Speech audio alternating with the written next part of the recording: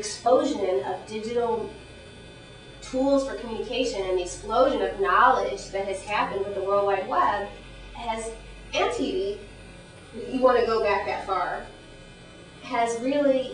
sent us to a place where the future student in a university is going to be trained in a discipline, but they're also going to need to understand how to move across disciplines intellectually,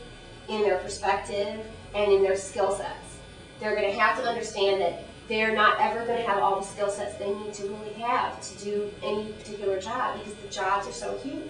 If they can do this kind of research, they may not be able to communicate that research to someone else because it's so complicated. So then how do you relate that research and information that you have to someone who can disseminate that information to get you the money that you need or whatever to do your further research. I mean, that, that, even in careers where you would think they would care not at all, you know, they're going to be doing some kind of obscure research into, you know, DNA, they're, they're going to need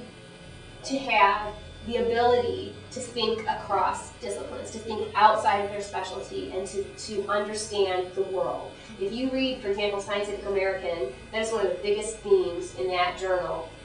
is that one of the problems that, for example, creationism in schools is such a huge issue is because scientists are not very good at explaining to the rest of the world about why what